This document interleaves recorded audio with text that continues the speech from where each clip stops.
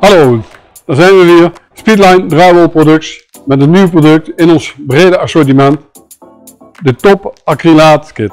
Waar gebruiken we de acrylaatkit voor? Dat is voor het vullen van naden, kieren en scheuren. Wanneer we dat gaan gebruiken, zullen we de ondergrond moeten ontvetten en stofvrij moeten maken, waardoor we een goede hechting krijgen. Vervolgens, wat u nodig hebt, is heel eenvoudig en niet veel. Dat is een kitpistool, een Stanley om het dopje eraf te halen en u kunt het gaan gebruiken en dat zal ik u zo laten zien. Het tuitje is schuin afgesneden om de hoek inwendig te vullen. We strijken hem na.